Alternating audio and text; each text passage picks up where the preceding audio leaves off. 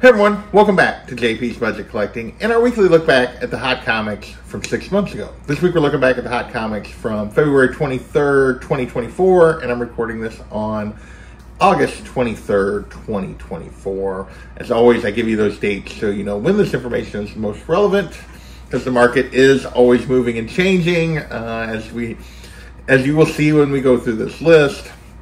Also, as always, we're looking back at the CBSI Hot Top 10 and the Comic Tom Key Collector Hottest Trending Comics of the Week. So we're back now for our second week since we kind of relaunched this after a little bit of a little bit of time off. Uh, so let's dig into the 18 books we have to talk about this week and see if we can learn anything. Uh, first up, we had two books, three books that were kind of related to option news or TV shows or movies that weren't related to DC and Marvel. Uh, the first of those was The Hedge Knight, number one. Uh, this is the next Game of Thrones spinoff, and we got news that that was official back in the spring. Uh, raw copies were going for 25 bucks. Now it's a 15 to 25 dollar despite dollar book despite the fact that we just got a trailer at the end of House of Dragon season two. So we know the show is for sure coming next year, uh, and it's still a down, and I'll be back from that initial confirmation back in the spring. Uh, next, we have Borderlands Origins. Uh, we got a trailer for that movie. That movie has since come out. I think it did eh, okay, not great. Um, raw copies were 18 back then, 9.8 going for 130.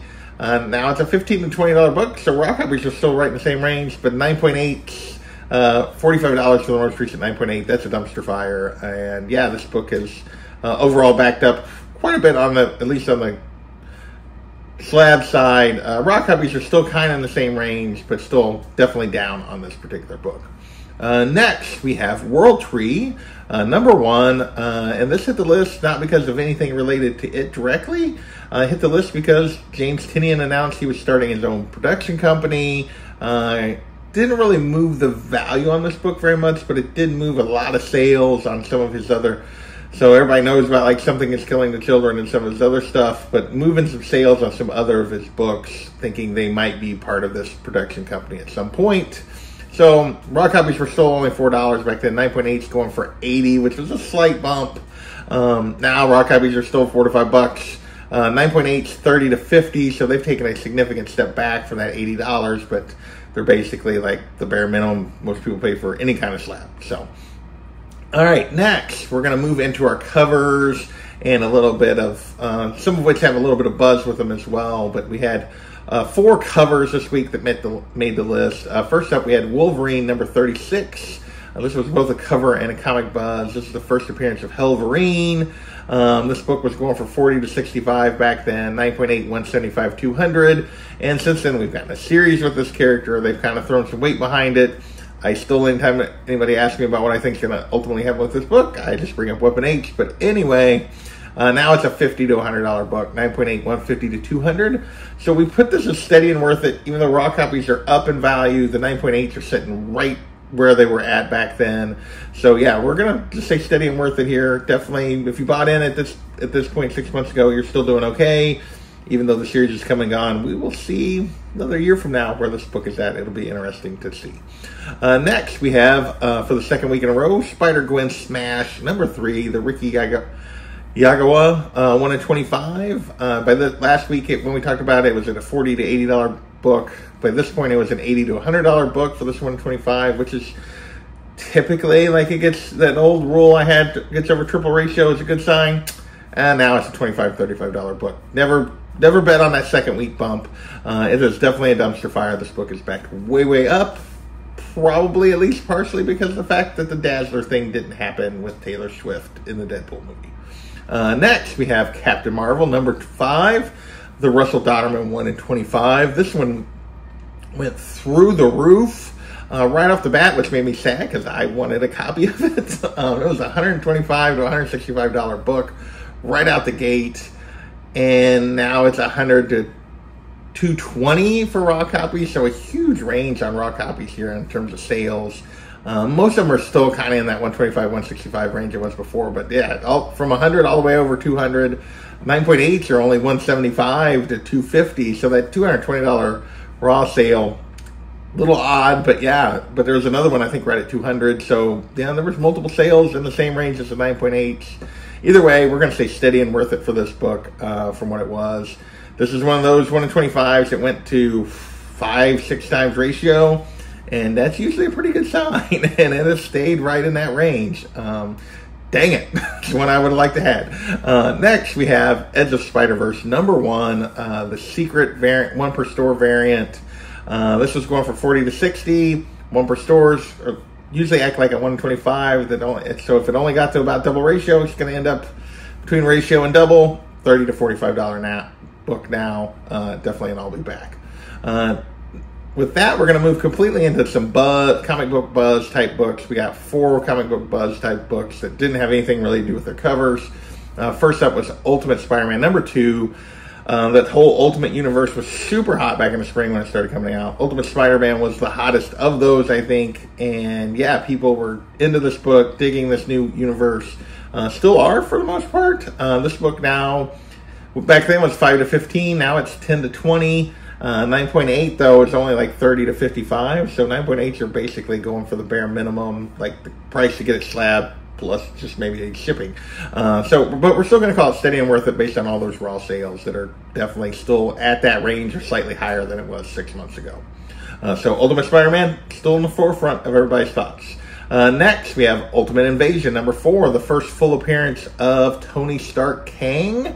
Um, yeah, so this had to do a little bit with the Ultimate Universe that was coming and all this kind of stuff. Um, which caused us to be a 25 to 30 dollar book back then. Now it's a 15 to 40, so it's kind of widened out in terms of sales. So we're still going to call it a steady worth it.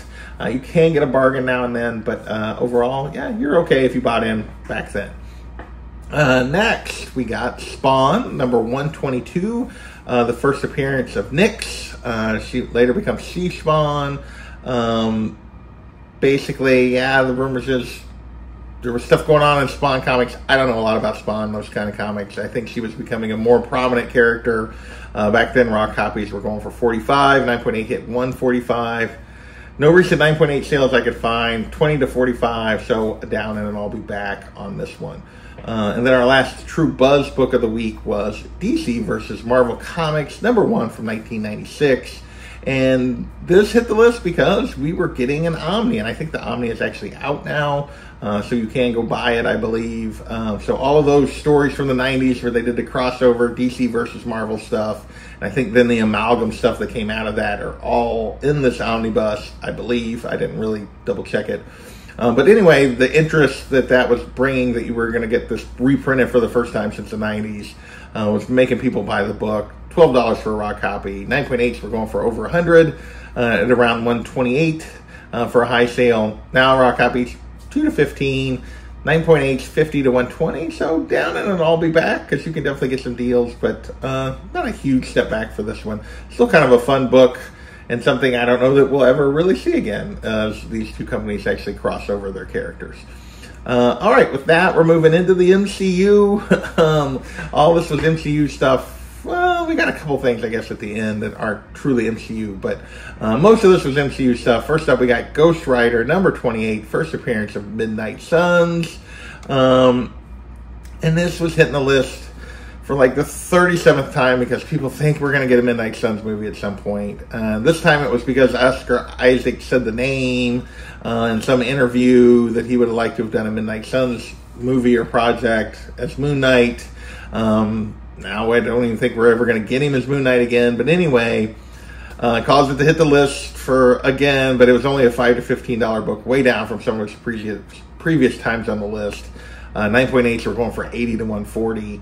Uh, now it's still a five to fifteen dollar book. 9.8s 50 to 120, so a slight step back there. Overall, we'll just call it steady, and then I'll be back. Um, and this is kind of the bottom where this book sets. Uh, in general, it's had some much higher sales over the years, but this is kind of just where this book is at this point. Uh, next, we have Marvel Team Up number 65, the first American appearance of Captain Britain. And we were getting Henry Cavill rumors. I think Henry Cavill literally gets rumored for every part that's ever come up in any sort of universe or nerd kind of, you know, comic book video game, nerd movie. Like everybody just throws Henry Cavill in it. um, so he's very popular apparently. But yeah, that was the rumor back then. Raw copies were going for 85. 9.8 went for 382. No recent 9.8 sales to compare to, um, but raw copies now 15 to 40. Uh, so that's down in a trap. I don't know that it's, you know, um, still a solid book uh, if you like the Captain Britain character. And uh, yeah, $15, $40 for raw copies. My guess is there hasn't really been a really high grade one go recently on the raw side, which is why it's as cheap as it is. But that's pretty cheap if you want to get into this particular book. Uh, next, we have Wolverine number 88. Uh, the first Deadpool versus Wolverine, and this was all anticipation of uh, we'd gotten the trailer, an early trailer for this movie. Uh, the movie's obviously come and gone since then. Well, is is out now, currently where you can still see it. But raw copies were seventy five to one hundred. A nine point six newsstand went for three twenty five. Uh, now raw copies are ten to one hundred.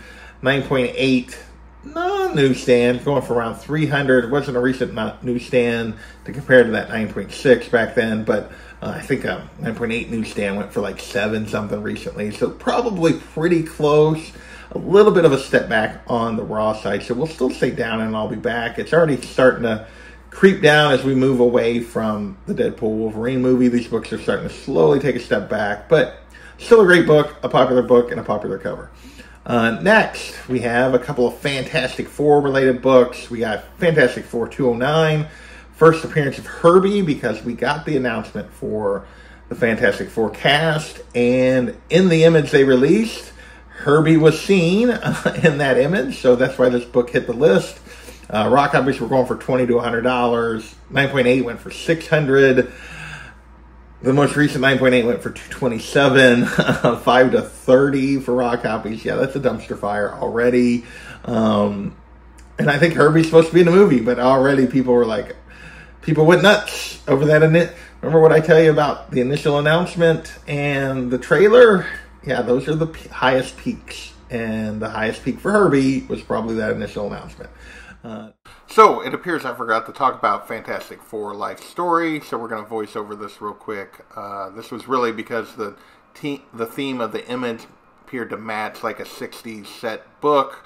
So that's why people are thinking this might be the storyline. Raw copies back then were going for five bucks. A 9.8 was going for 50.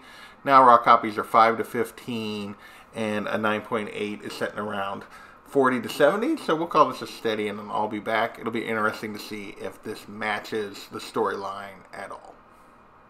Announcement.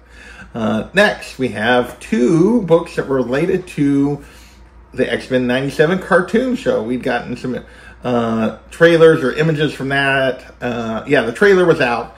And first up, we have Avengers Annual number 10, the first appearance of Rogue. And this was hitting the list because A, Rogue was prominent in the trailer, but she was also prominent because people were mad that she didn't look like that one singular image from the old school show with her and Apocalypse, uh, that she did not appear to have the assets she had in the old cartoon but anyway, raw copies were going for 150. 9.8 was going for 580. Now it's a 40 to 100 dollars on recent raw copies. 9.8, 5 to 600. Say it. I'll be back, but I probably should have put steady and I'll be back. I, I put down, but I probably put, should have put steady and I'll be back. Now that I think about it. But anyway, yeah, great book, great character, and pretty affordable, really. Um, so uh, next we have X Men Adventures number one. Um, the first comic related to that the original cartoon show. Um, this was hitting the list. Raw copies were going for 25 bucks. 9.8s for 175 to 200. Uh, people were really anticipating the show. The show was fantastic. Everybody loved it. And now, just three or four months after the show came out, well, two months. The show was coming out in May and June, and now it's a five to twenty dollar book. 9.8 under 100 at 85 on the last two sales, and the only two sales in August. Um, yeah, it's a, already turned into a trap. That's just the way this works, uh, which is why you should always be patient until after these projects come and go. So that's this week's list. Um, I want to thank you guys for watching, and we will catch you next time. Later.